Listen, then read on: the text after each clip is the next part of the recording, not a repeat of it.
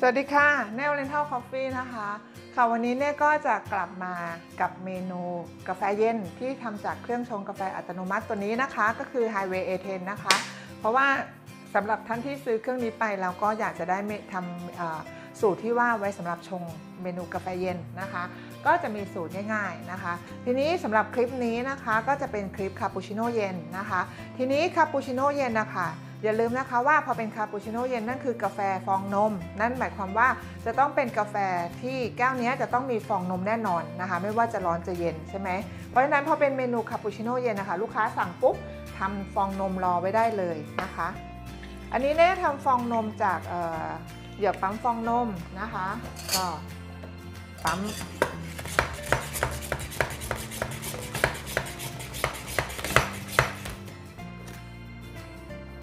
แค่นี้ค่ะนมขึ้นมาแล้วนะคะแป๊บเดียว เสร็จแล้วเราก็แช่เย็นไว้นะคะ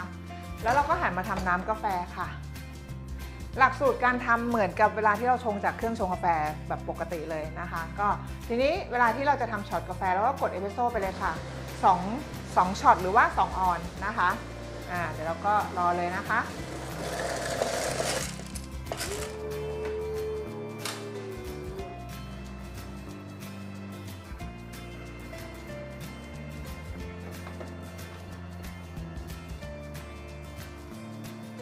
จริงๆแล้วในระหว่างที่น้ำกาแฟไหลอะค่ะ เรามาเตรียม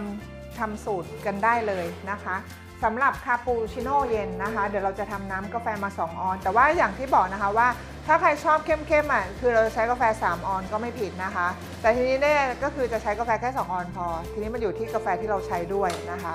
ถ้าเราเข้มพอแล้วก็คือโอเค นี่ก็จะใส่นะคะ ถ้าสูตรคาปูชิโน่เย็นนะคะ เราดึงน้ำกาแฟมา 2 ออนซ์แล้วใช่ไหม หรือว่า 2ช็อตเอสเปรสโซ่2ช็อตเนี่ยค่ะ เสร็จแล้วค่ะ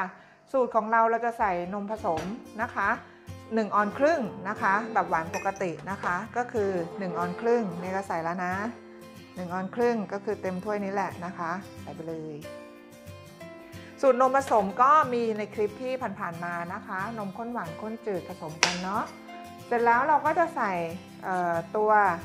นมสดนะคะ นมสดเราจะใส่ลงมาที่ 1 ออนนะคะ ประมาณ 1 ออน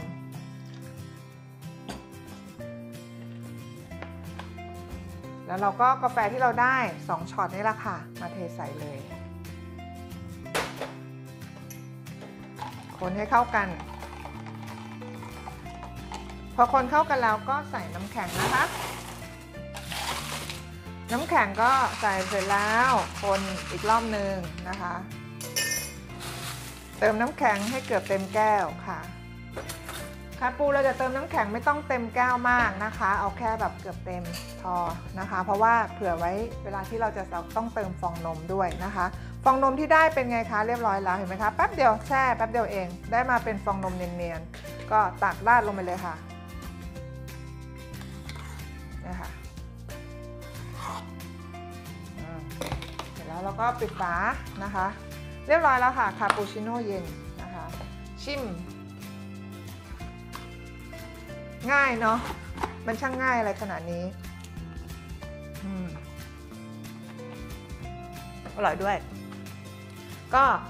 กาแฟเข้มหวานมันกลมกล่อมนะคะ อันนี้เขาก็จะเข้มน้อยกว่าเอสเปรสโซ่นะคะ เพราะว่าเมื่อกี้สูตรเอสเปรสโซ่ถ้าจำถ้าถ้าใครที่ดูเอสเปรสโซ่เมื่อกี้นะคะ เอสเปรสโซ่เราใช้ 3ช็อตแต่ว่าส่วนผสมคือเท่ากันเลยก็คือจะเป็นนมผสมออนซ์ครึ่งแล้วก็นมสด1ออนซ์ใช่ไหมแล้วก็กาแฟ3ช็อตเอสเปรสโซ่เขาก็เลยจะเข้มกว่าอันนี้แต่วันนี้มันจะเป็นความกลมกล่อมนะคะ หวานมันกลมกล่อมแล้วก็มีฟองนมด้วย อร่อยมาก ลองทำกันดูค่ะง่าย ๆ แบบนี้เลยนะคะ ไม่ต้องมา worry เรื่องช็อตกาแฟด้วยนะคะเพราะอย่างที่บอกค่ะว่าช็อตกาแฟสำคัญที่สุดแล้วในการที่เราจะทำเครื่องดื่มให้อร่อยหรือไม่อร่อยนะคะ ก็คาปูชิโน่เย็นค่ะ จากเครื่องชงกาแฟอัตโนมัตินะคะ เดี๋ยวลองทำดูนะคะสำหรับท่านที่มีเครื่องชงอัตโนมัติอยู่นะคะ แล้วก็ถ้ายังไงแล้วค่ะชอบไม่ชอบก็คอมเมนต์ข้างล่างได้นะคะ หรือว่าถ้ามีคำถามอะไรหรืออยากจะแนะนำติชมอะไรเน่ยินดีนะคะ ก็หรือมีคำถามอะไรก็ฝากไว้ได้ค่ะ ที่คอมเมนต์ข้างล่างเลยนะคะ แล้วก็อย่าลืมนะคะ กดติดตาม Subscribe ค่ะ Oriental Coffee Channel นะคะ